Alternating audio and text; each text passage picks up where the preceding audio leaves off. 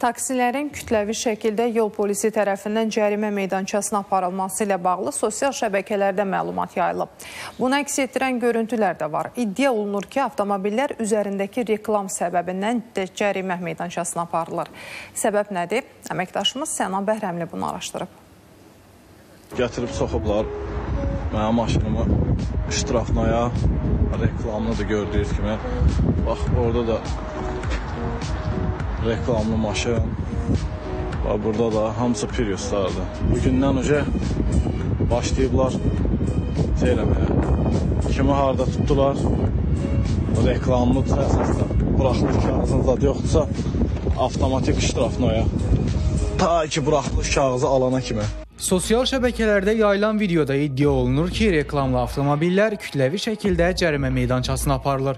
İddianın nə dərəcədə əsaslı olub-olmadığını bir neçə reklamlı avtomobil idarə edən taksi sürücüsündən soruşduq. Yoxlanış eləyirlər müəyyən yerlərdə məsəl üçün Azneft tərəfdə zətdə belə bir yoxlanışlar aparırlar ki, reklam kağızının olmadığı halda cərimə meydançası aparılır. Polislər yəni ki, hələ ki elə bir ciddi müdaxilə eləmir, kütləvi şəkildə saxlamır maşınları. Heç olmasa yəni bu dekabra kimi zaman tanımalılar ki, yəni bu bu məsələlər öz yerini tapsın da. Yəni ki, sürücülər tədricən maşınlarını dəyişsinlər. Əgər reklam icazəsi yoxdursa aparmaqda haqlıdırlar.